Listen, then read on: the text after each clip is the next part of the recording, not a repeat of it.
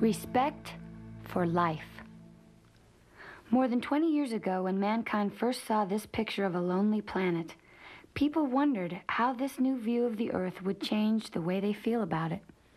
One thing that's happened is that when something like the Exxon Valdez oil spill happens, as it did in Alaska, people understand that that kind of disaster is like an injury to a living planet.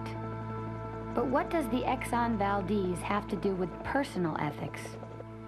This is Larry Wade. He's the captain of the oil tanker Glacier Bay that runs the same route to Alaska that the Exxon Valdez did.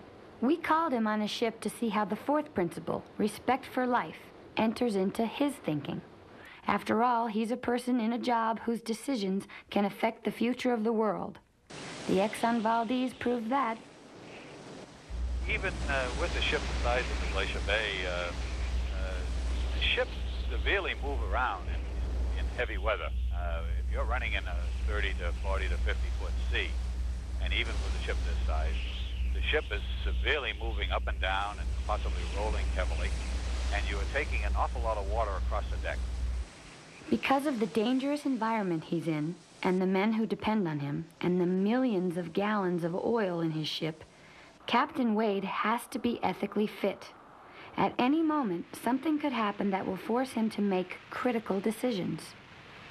When you have to think about uh, what you would do in a situation, uh, there's a lot of things that go through your mind, and, and probably uh, the high point in, in my thinking would be the safety of my crew, followed immediately by the safety of my ship.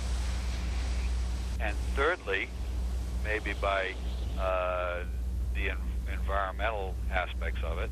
And uh, lastly would be the, the uh, interruption of the trade or, or the movement of the oil to the, to the oil company. Man, ship, environment. Those are his priorities. You may or may not agree with them. But Captain Wade has taken the time to think about and form his own personal ethical code. That other captain, the captain of the Exxon Valdez, Joseph Hazelwood, he faced his own personal test of ethical fitness. He had to decide which was more correct being on the bridge when his ship was in hazardous waters, or being in his cabin because he was entitled to some time off and some time to relax. Did he make the right decision?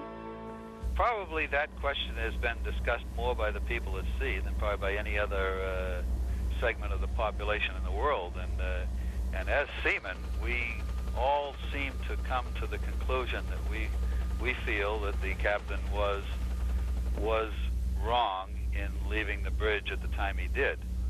Not legally wrong, but wrong in the sense that it was prudent seamanship to stay there at that time, and he didn't do it. Perhaps ethical fitness means being ready to make your own decisions whether or not there's a law that tells you what you should or shouldn't do.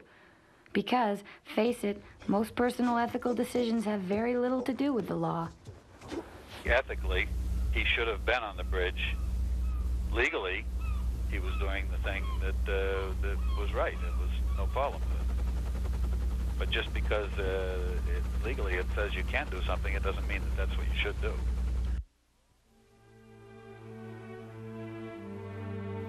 Things have changed. Your personal ethical decisions will have more of an effect on the future of the world than your ancestors' decisions ever did. A hundred years ago, a ship captain couldn't cause so much environmental havoc by running his ship aground. A hundred years ago, a couple of scientists working alone at night couldn't unleash anything like the radioactive fallout of Chernobyl. But today, life is much more complex, so much more challenging and the future is going to be even more demanding